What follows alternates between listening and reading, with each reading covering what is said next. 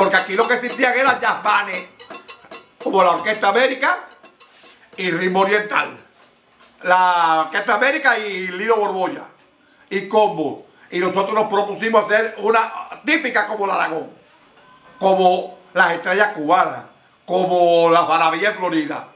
Y todo eso cambiaba. Entonces era una novedad en Manzanillo. Que si tiene una típica. A nosotros no nos decían por principio la original. ¿Sabes cómo nos decían? Oye, va a tocar la típica. Porque era un, algo extraño que una típica aquí. Y así fuimos subiendo, subiendo. Y llegamos a donde llegamos. la orquesta fue subiendo el calor.